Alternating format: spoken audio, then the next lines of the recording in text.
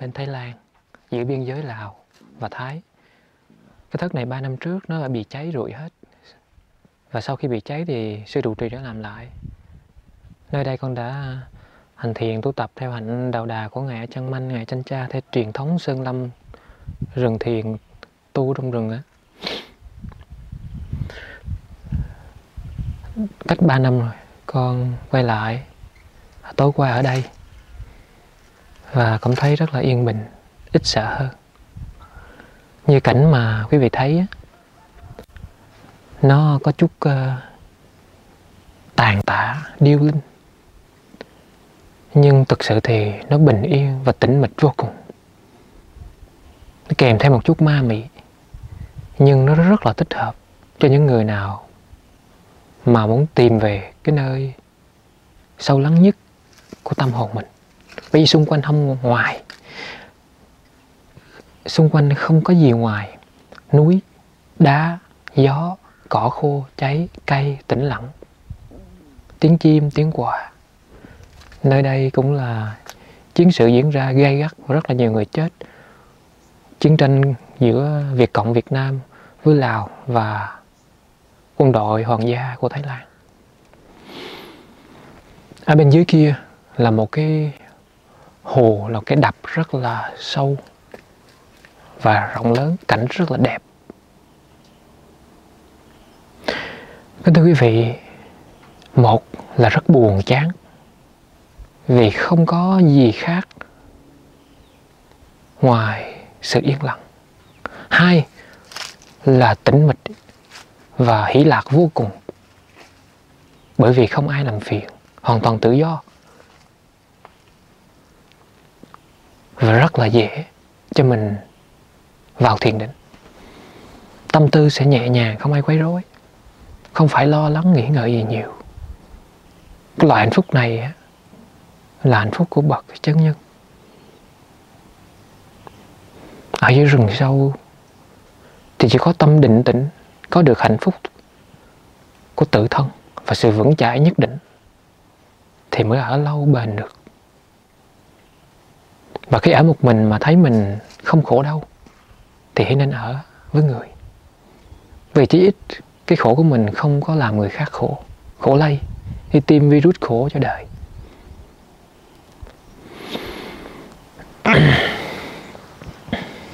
Còn nếu mà mình đã hạnh phúc rồi mà cứ ở trong rừng miết, thì cũng hơi ích kỷ. Nên đi chia sẻ cái hạnh phúc đó với người còn mỗi lần mà thấy hạnh phúc nó bị vơi bớt đi sự vững chãi nó bắt đầu lung lay thì nơi tĩnh mịch của núi rừng nên là nơi nó giải tỏa nỗi niềm của mình một cách nhanh nhất. Bởi vì mình khổ chứ bao giờ là mình khổ với núi, đá, gió, trời, mây, thiên nhiên hết mình khổ là khổ với con người. Cho nên cái nỗi khổ mình mà đi ở với con người á không có giải quyết được đâu làm nỗi khổ tăng lên gấp đôi cấp số nhân. Thấy là khổ, nhớ là khổ. Không có họ đó thì người khác làm cho mình nhớ, mình thấy. Cho nên à, người tu tìm đến nơi tĩnh mịch, yên lặng, vắng bóng con người là bởi vì sao? Là bởi để cho cái nghiệp quá khứ của mình nó bắt đầu bị cắt đứt, không có thức ăn của tai mắt, mũi lưỡi, mình thấy người nữa. Thấy người là thấy gì? Thấy nhan sắc nam nữ nè, thấy tiền tài danh vọng nè, thấy đấu tranh hơn thua nè thấy đau khổ hạnh phúc. Thấy những thứ đó liên tục. Là cái nghiệp cũ mình bao nhiêu kiếp đó, nó trồi lên và nó muốn như thế này nó không muốn như thế kia. Còn mình ở xung quanh đây mình thấy gì? Mình thấy cái thứ mà những thứ đó nó dừng cái suy tư mình lại. Mình không thể đánh giá cái cây hòn đá bụi cỏ được. Mình thấy nó có giống như nó có mặt ra cho mình một cái trọn vẹn chứ không có cái gì à, một cái nhận xét gì cả. Toàn bộ đau khổ con người kính thưa quý vị nó đến từ cái nhận định của mình trên sự kiện. Thế một cái sự kiện tốt mình nhận định theo hướng tốt thì mình tăng cái lòng tham. Sự kiện, nếu mà mình nhận định lên cái sự kiện một cách tiêu cực thì mình tăng lên cái lòng sân. Mình ở với con người thì không có khi nào mà mình không nhận, mình không nhận định lên cái sự kiện, con người này thế này, con người kia thế kia. Nhưng mình ở với đá, với cỏ, với cây thì mình nhận định gì vậy? Cho nên cái suy tư tiếng ồn trong đầu mình miên man cái ở với người nó bị dừng lại hẳn. Khỏi cần phải niệm hơi thở hay là niệm sát chết hay niệm gì hết trơn. Chỉ cần ở với thiên nhiên là phần lớn là vô niệm.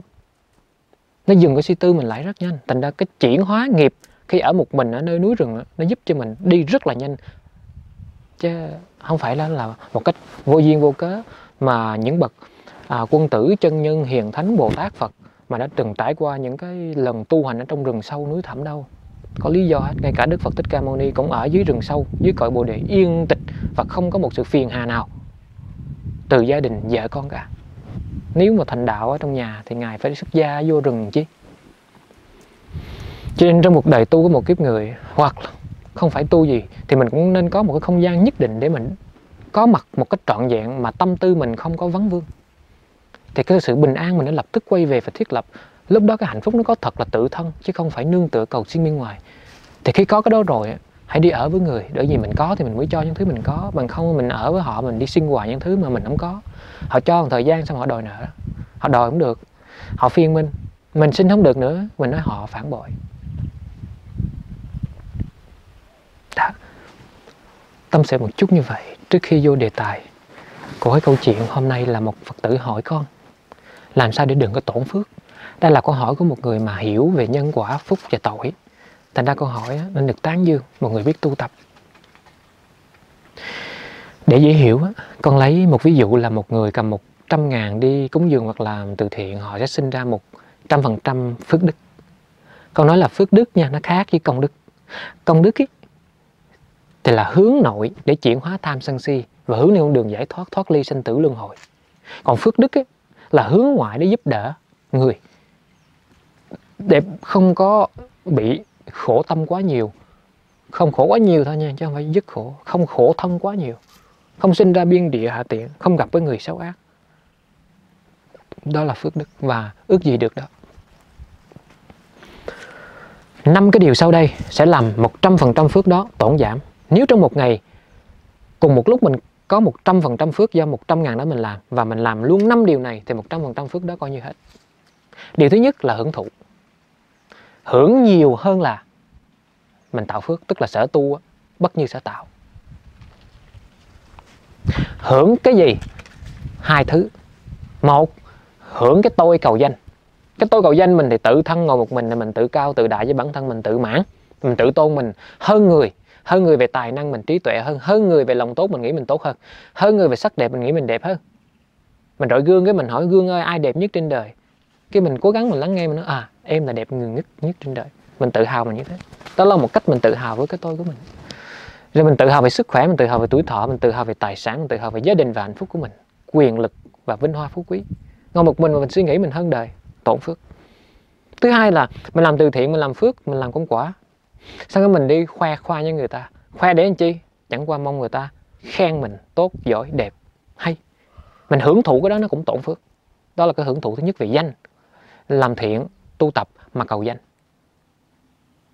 Mình ngồi bình thường vậy đó, không ai thấy hết. Mình ngồi sao cũng được. Tự động có một người đi qua cái mình nhớ và mình ngồi thẳng, ngồi thiền. Cái đó là cầu danh. Và bình thường mình ngồi một mình có một tiếng à. Sao bây giờ ngồi mấy trăm người cái mình ngồi 6 tiếng? Mình cầu danh.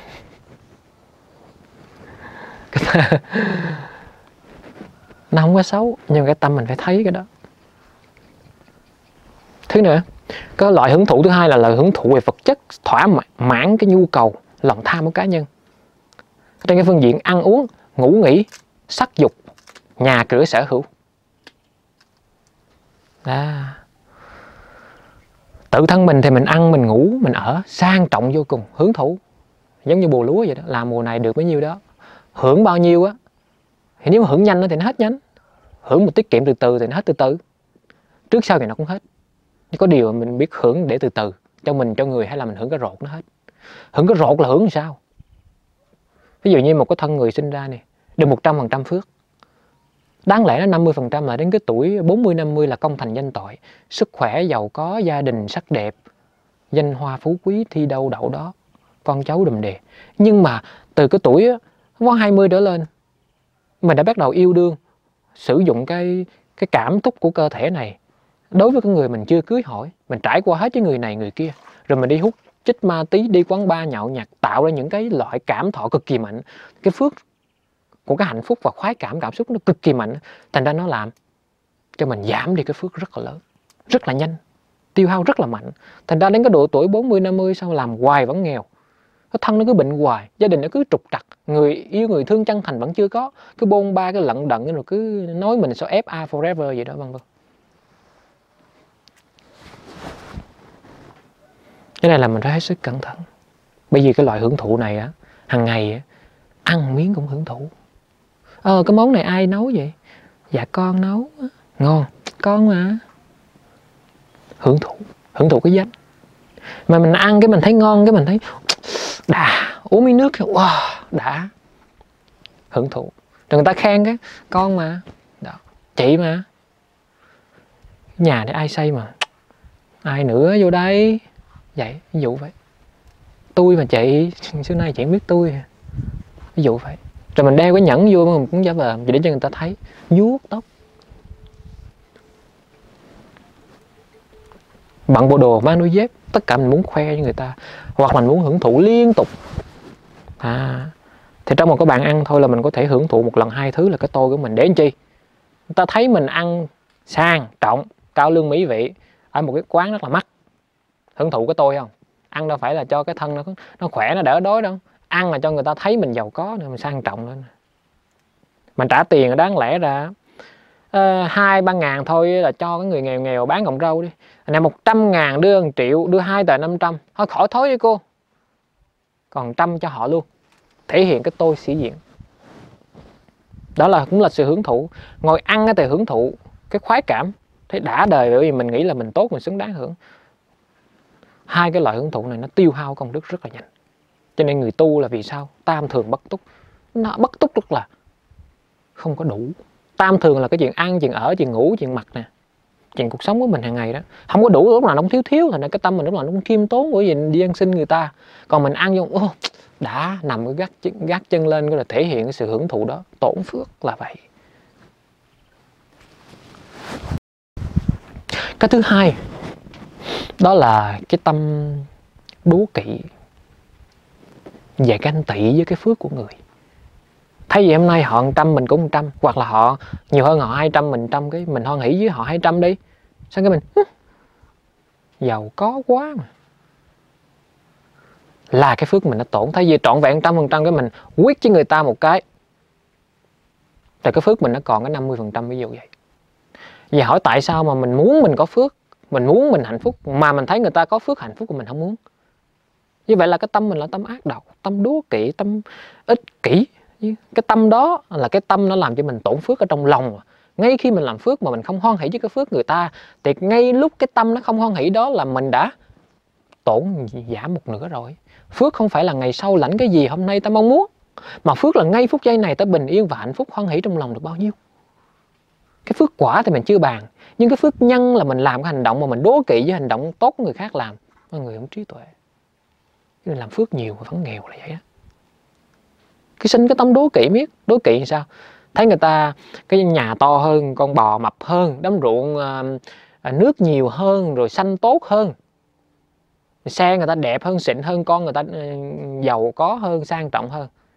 Cái mình đi nói mình đi nói xấu với người khác sau lưng. Thấy người ta hơn mình cái mình đi mình đi nói sau lưng là chê người đó. Mấy cái người như vậy là nghèo miết khổ miết bệnh miết. Bởi vì mình đố kỵ với người.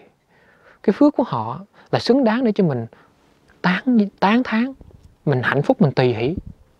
Bởi vì mình làm như vậy mình tán tháng mình tùy hỷ phước họ bao nhiêu, mình tùy hỷ, cái lúc đó là cái phước mình bấy nhiêu. Cho nên cẩn thận cái tâm đố kỵ nghi ngờ với phước của người nha. Nếu không thì mình sẽ bị tổn phước rất nhanh. Thứ ba là cái tâm gì? Cái tâm hối tiếc. Về vui với vợ. Ồ, hôm nay anh cũng dường được cái chỗ đó. Hôm nay anh đi làm từ thiện nữa chứ? Ông vớ vẩn. Nhà không lo mà đi chuyện bao đồng. Bữa nay thế này thế này thế này nè. Tiền đâu vậy đưa đây? Chết anh cũng muốn vừa mất rồi. Ổn quá, không để anh đem về anh giúp em. Xin cái tâm hối tiếc ở với một người mà có trí tuệ, họ tán thưởng công đức đó ồ, cảm ơn anh do anh đi làm phước cho nên hôm nay gặp cái họa này chắc có lẽ là em nhẹ bớt.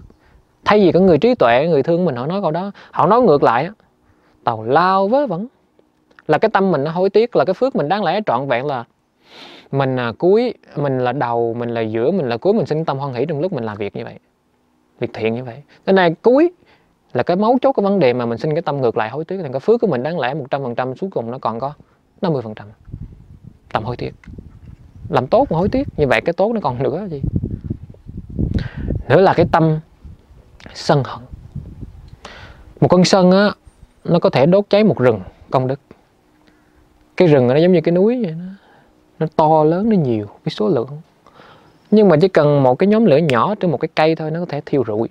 Thì cái tâm sân hận của mình cũng vậy, bằng cái lời nói mình đâm thẳng vào tim người mình giúp họ cả một trăm lần à, một câu nói mình phụ bạc một lần vì sân hận thôi mình rút lại cái lời đó không được và họ không cần tất cả tấm lòng của mình từ đó về sau nữa.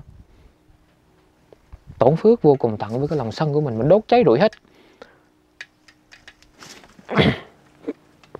đó là cái tâm sân nó đốt cháy mình nó bất an. Huống hồ gì mình làm ra một cái hành động bất an á là họ ghi nhớ vài cái quả của mình nó đổ bể về sau nữa hối hận kịp cuối cùng là cái tâm tính toán và phân biệt. Tính toán là sao?